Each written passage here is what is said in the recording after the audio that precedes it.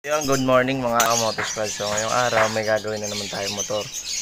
Yung motor na to is ibababa natin kasi maingay yung kanyang connecting rod tapos papalitan na rin natin. A few mechanical moments later. So ayan, nababa na natin yung Yamaha RS100 ulit. Makikita nyo, ayun. Pakita natin. Para malaman nyo kung anong gagawin. Yan. Tadang.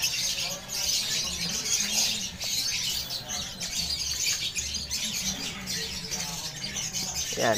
Nababa na ulit natin. Mamaya, update ko na lang kayo kung ano mangyayari dun sa gagawin nating motor.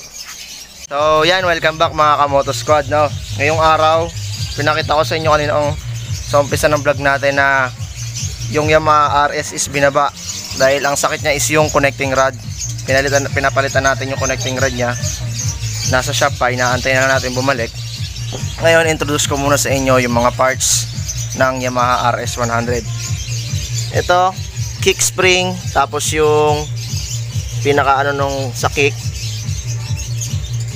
Itong idle spring.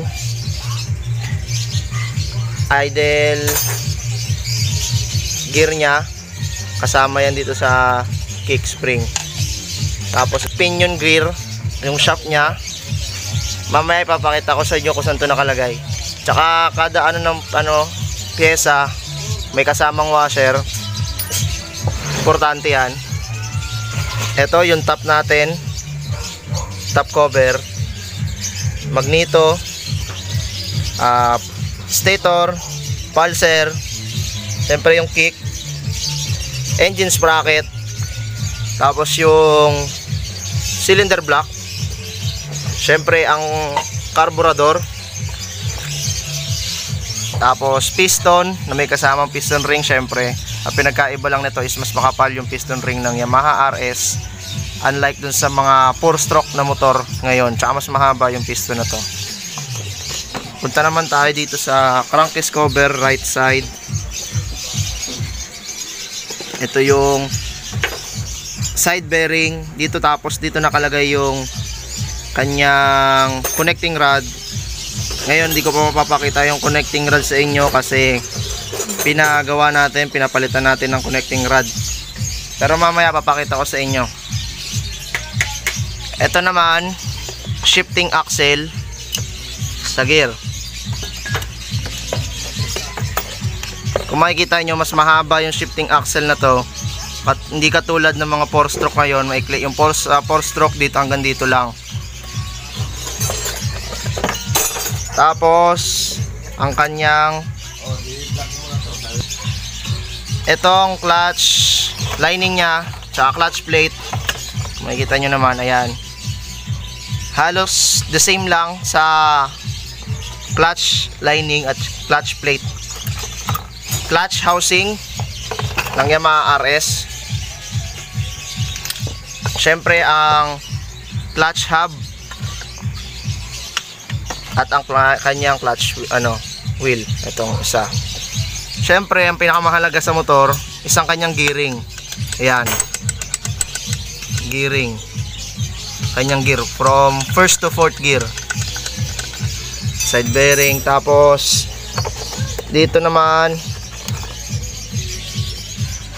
Ito napakahalaga nito kasi napakahalaga nito kasi ito yung post rod clutch. Ito yan post rod clutch to. Ito yung magtutulak sa clutch para tumakbo. May kasama tong bearing pag nandoon na sa loob. Tapos ito. Muffler connector ng Yamaha RS 100 so ayan ngayon. Ayan yung parts ng Yamaha RS 100 mamaya ipapakilala ko sa inyo si connecting rod para makita nyo kung ano yung ginawa sa kanya. Mamaya na lang ulit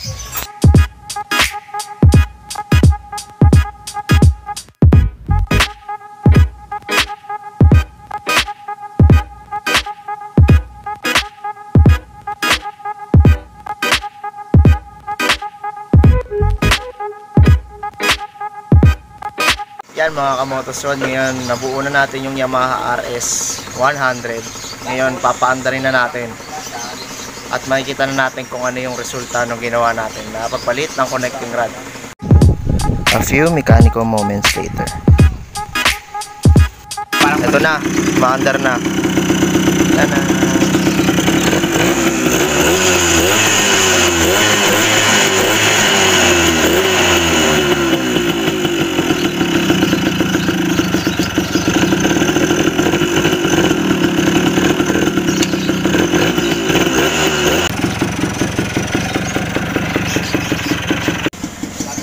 mga kamoto squad, nakita nyo naman yung performance at yung kung paano yung andar ng Yamaha RS100. Tahimik na tahimik at dahil dun sa pagpalit natin ng connecting rod, wala na tayong naririnig na kalampag at ingay.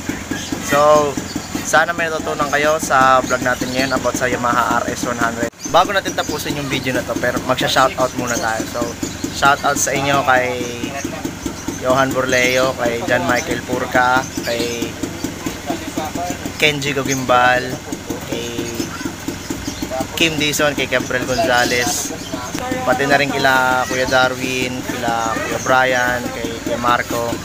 Yan, shoutout sa inyo. Don't forget to like, subscribe, and share this video para updated kayo sa aking mga video. Hanggang sa muli na lang ulit mga Kamoto Squad.